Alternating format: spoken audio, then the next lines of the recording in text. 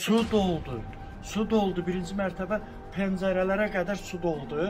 Gördüm mümkündür ki, gətirdim torba birinci mərtəbədə istifadədən Qoy əlaqədar təşkilatlar eşitsin. Qoy mənim prezidentim eşitsin. Bu bununla sakitləşmir. Cəmaət da bu çirkabda belə ölməkdənsə fikrimiz var belə bir miting keçirək. Yolu bağlayacağıq. Balıq deyilük. Qurbağa deyilük. Belə ölməkdənsə kişi kimi ölərik. Kanalımıza müraciət edən bir qrup Maçdağı qəsəbəsi Savalan adlanan ərazinin sakinləri bildirirlər ki, onların yaşadıkları ərazidə kanalizasiya sistemi yoxdur və axan qurunt və çirkab suları onların evlərinə və eyni zamanda isə həyətlərinə dolur. Onlar deyirlər ki, aidiyyatı qurumlara bununla bağlı dəfələrlə müraciət etsələr də, nədənsə indiyədək heç bir tədbir görülmür. birinci mərtəbə həqiqətən lap belə indi biraz uzaqdır. Gedib baxara Rütubət bilərik. olduğuna yararsız Yox, vəziyyətə su doldu. Su doldu. Birinci mərtəbə pəncərələrə qədər su doldu. Gördüm mümkündür ki, gətirdim torba birinci mərtəbədə istifadədən düşdü. Görürsünüz bu şılaqları? Baxın, çəkin, xahiş edirəm. Oradan bizim evin yanından bura şılanq çəkib gətirmişik. Kim bu suları qurudaq? Baxın, bu ətraf, o, ətraf, bunu da yenə sağ olsun, sabunçunun icrabatçısı bizim xahişimizi nəzərə aldı. Bax, bax, bunu yaratdı. Bir baxın, bütün çirkab sular bura axır, motorların gücü ilə. Əlimizə gələn o pulu, pensiyanın pulunu veririk. Bax bu ambarı yenə başçı düzəltdirdi, bizə bizə kömək elədi, az da olsa. Rayonun daxili hesabına bunu bizə kömək elədi. Sular bura toplanır. qum Bəli, suları buradan kana- da vurulur. Və hara gedir? Buradan indi hara gedir o da biz bilmirik. Elə vururuq hara gəlir indi də kiminsə evində biz yıxırıq. Bax bax bax baxın. Yəni bunu da bizə kömək elə elədi Adil Vəliyev. Mərdi qova qova namərd eləməyin. Bizi mitinqlərə sövq eləməyin. Bizi yol kəsməyə, o birisinə vadar eləməyin. Gəlin, məsələni həll eləyin. Kabinetdən çıxın.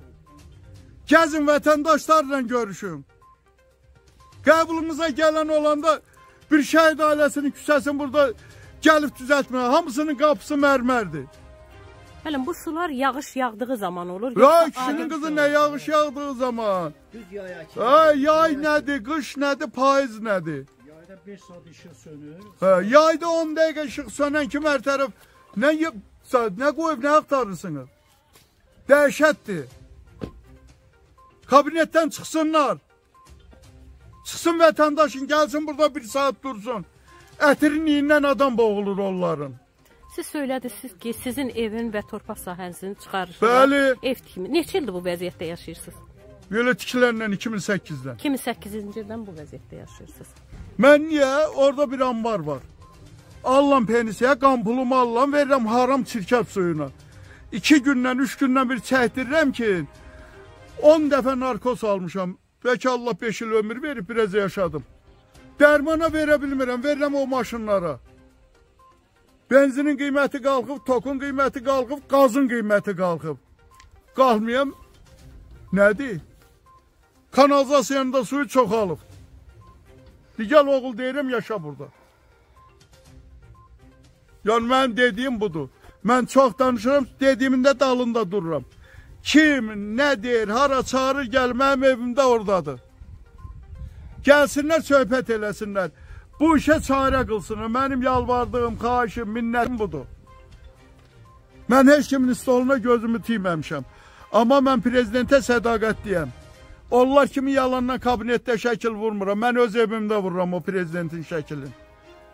Əziz izləyicilər, xatırladım ki, biz Məşdağa qəsəbəsi Zavra şosesi Savalan deyilən ərazidəyik. İnsanlar hamısı küçəyə çıxaraq şikayətlə müraciət edirlər.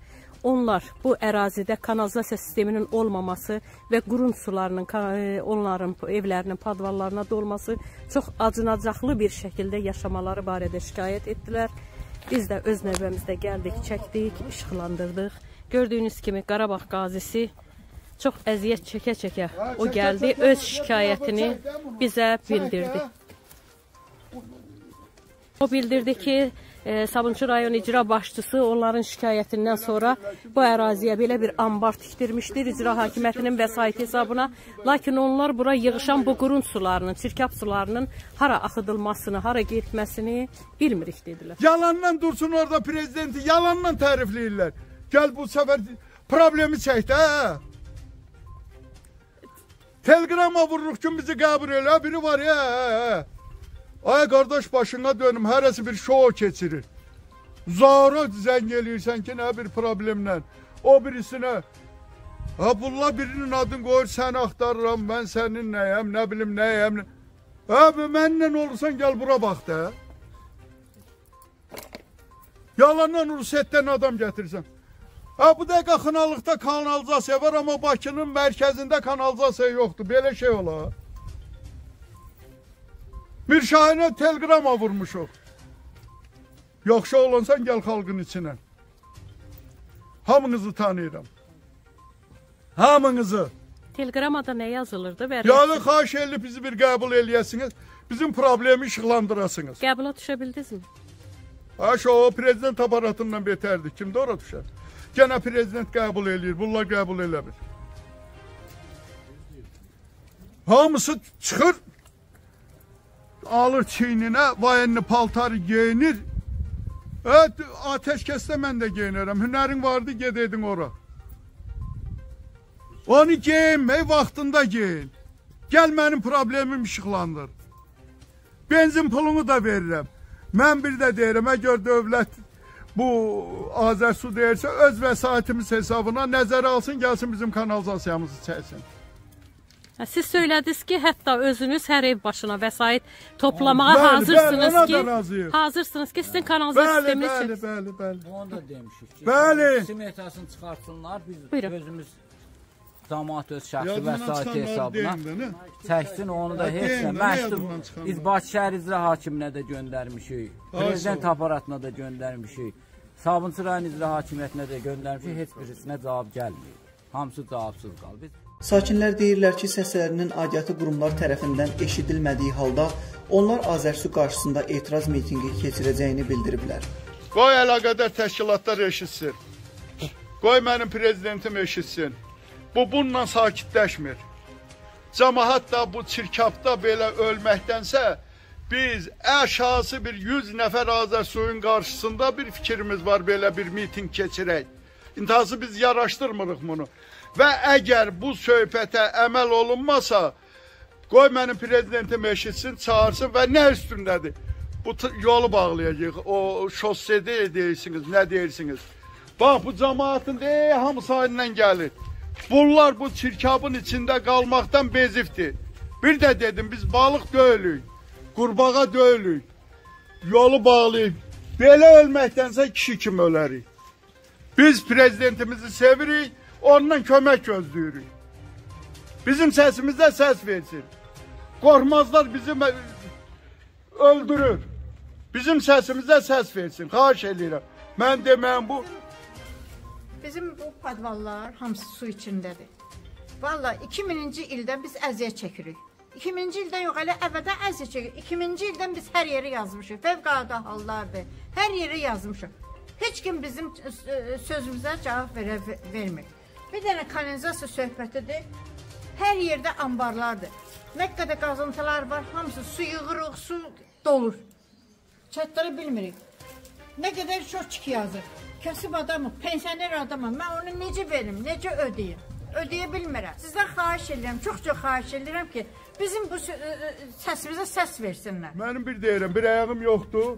2-3 dənə nəvəm bu tərəfdə məktəbdə oxuyur. Belə gölməçələrin içinə daş düzüb keçirlər ay kişi. Hələ bu cəmaətin yarısıdır burada. Hamı işdə gücdə qazandığım verir. Elektrikə nasos qoyur, suları çəkdirir. Belə şey olar. Biz bunun xahişimiz budur. Cənab Ali Başkomandandan, prezidentimizdən bizim səsimizə səs versin. Əlaqədar orqanlara tapşırıq versin. Bari bizim bu kanalizasiya məsələmiz həll olsun. Yolumuz yoxdur, onu demirik, dözürük. Küçə işığımız yoxdur, demirik, dözürük. Amma bu çirkabın içində yaşaya bilmirik biz. Qurbağa deyilik su içində yaşayaq. Biz də canlı insanıq. Ərazidə kanalizasiya sisteminin yoxluğu isə onların yollarını da keçilməz edir. Biz də Kanal 13 olaraq ümid edirik ki, ürək ağrıdan mənzərə aidiyyatı qurumlar tərəfindən nəzarətə götürülərək bir tədbirlər görülər. Qeyd edək ki, videoda səsləndirilən fikirlərə görə Kanal 13 məsuliyyət daşımır və qarşı tərəfin də mövqeyini işıqlandırmağa hazırıq.